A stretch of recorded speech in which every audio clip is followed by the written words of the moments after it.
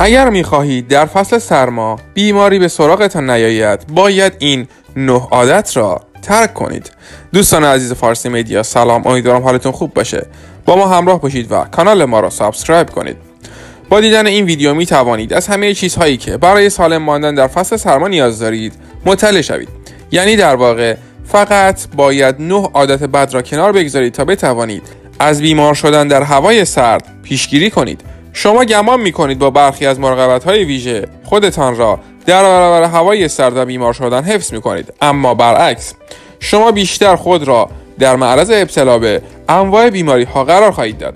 با ترک تمام عادتی که در ادامه این ویدیو آنها را معرفی می کنیم نه تنها مریض نمی شوید بلکه از اعماق قلبتان عاشق هوای سرد می شوید و از آن حسابی لذت می برید. اشتباه اول استفاده از قطره بینی قبل از بیرون رفتن.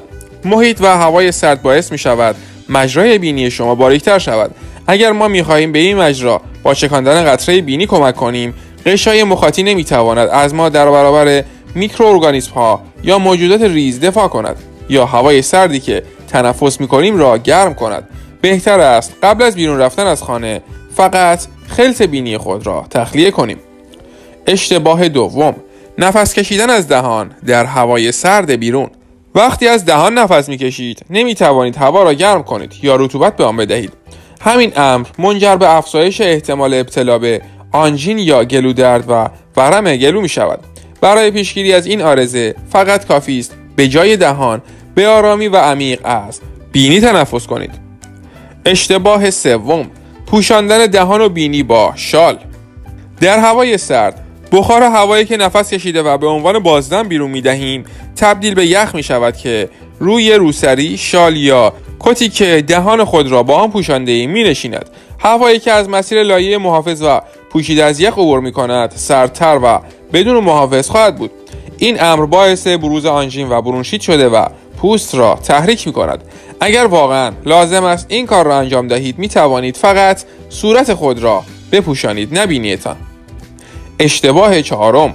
دویدن به سمت خانه در هنگام لرزیدن. وقتی متوجه اولین علائم یخ زدن می‌شوید بهترین ایده این است که چند دقیقه ای به یک جای گرم مثل مغازه یا کافه پناه ببرید تا گرم شوید و نفس بگیرید و سپس به راهتان ادامه دهید. سعی نکنید وقتی سردتان شده است سریعتر و سریعتر بدوید. اشتباه شماره پنجم. پوشیدن لباس ها و شلوارهای تنگ و چسبان. هم لباس و هم شلوار یا کفش و پاپوش های تنگ و چسبان باعث می شود در هوای سرد زودتر یخ بزنید. اگر لباسی بپوشید که کمی گشادتر باشد هوا بین لایه ها در جریان خواهد بود و باعث می شود بدن شما گرمای خود را حفظ کند. اشتباه ششم مصرف نوشیدنی های داغ قبل از بیرون رفتن. چای داغ منجر به افزایش گردش خون می شود و مکانیسم دفاعی بدن شما را بیشتر می کند اما این احتمال هم وجود دارد که عروق خونی را منبسط یا گشادتر کند. به عبارت دیگر وقتی شما بیرون در هوای سرد هستید با سرعت بیشتری مقدار زیادی از دمای بدن خود را از دست می دهید اگر می خواهید چیزی بنوشید بهتر است آب بنوشید یا حداقل یه نوشیدنی گرم نداغ. اشتباه هفتم گرسنه شدن در هوای سرد و بیرون از منزل. برای اینکه بدنمان گرم بماند نیاز به انرژی داریم وگرنه خیلی زودتر یخ می‌زنیم. به همین دلیل است که شما وقتی بیرون هستید باید به محض بروز علائم گرسنگی و ضعف کردن غذا بخورید. حداقل باید یک اسنک یا میان وعده را در جایی بخورید که سیستم گرمایشی دارد. اشتباه شماره 8 کرم زدن به دست و صورت. درست قبل از بیرون رفتن.